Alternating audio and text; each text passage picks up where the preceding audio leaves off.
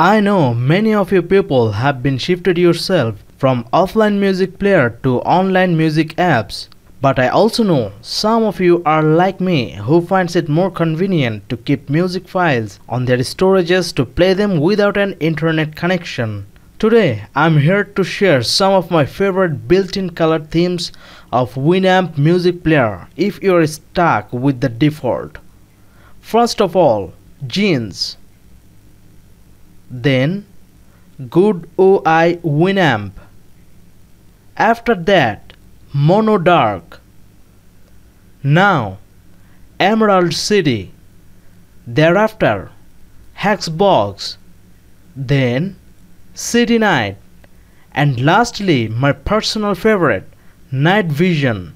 You can also activate color themes very easily from the color themes tab but I show it from the menu so that you can have a better idea of how the menu color combination will look like. Thanks for watching. Share this video with your backdated friends.